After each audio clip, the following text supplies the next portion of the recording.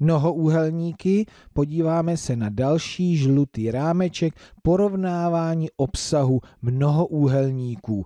Tak video, Teresko, vysvětlíš nám to porovnávání obsahů mnohoúhelníků?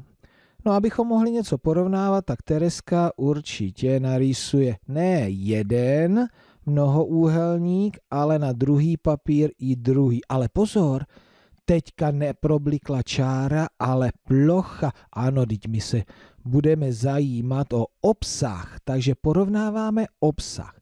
Obsah mnohoúhelníku A. To je vlastně počet čtverců, které mají stranu 1 cm. Všechny jsou stejné a Tereska jich tady napočítá kolik v mnohoúhelníku A? Sedm? Je to tak?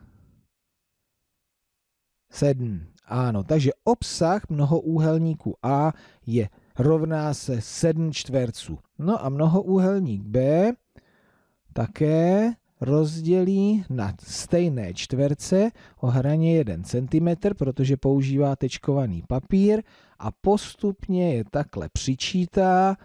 Někdo už tuší kolik? Bude rychlejší někdo než Tereska? Slyším tam už nějaké číslo, čili obsah mnohoúhelníku B je 9. Obsah rovná se 9 čtverců. Mnohoúhelník B tedy má větší obsah než mnohoúhelník A. 9 je větší než 7. No a teď zase budu přemýšlet nad tím, na co mě tohle bude dobré. To je plocha, to už není ta čára kolem. Tady, kdyby to byly zahrady, tak to není plot, to je vevnitř. Co je vevnitř? No třeba tráva. Teď mě napadá.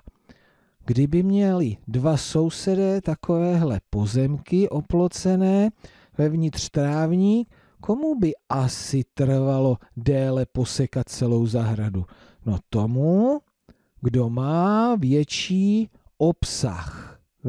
Čili tady, pokud by měli stejnou sekačku, nebo dva záhony, který záhon by byl větší? Tento ve tvaru U nebo tento čtvercový? Tento čtvercový, který má větší obsah. Zkuste vymýšlet další porovnání, kdy budete porovnávat obsah mnohoúhelníků. Možná, že na něco přijdete.